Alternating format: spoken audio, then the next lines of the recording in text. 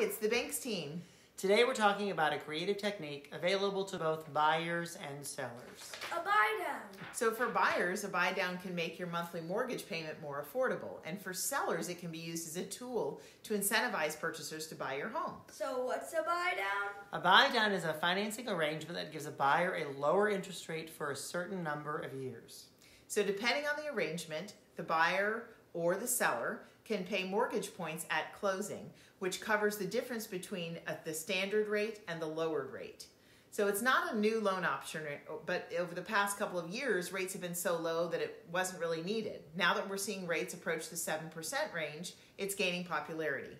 There are a variety of options, but a 2-1 and a 3-2-1 buy down are the most popular. So with a 2-1 buy down, the buyer's interest rate is reduced by 2% the first year, 1% the second year, and then it's at the full rate for the remainder of the mortgage. With a 3-2-1, the buyer's rate is reduced by 3% the first year, 2% the second year, 1% the next year, and then it's at the full rate for the remainder of that mortgage.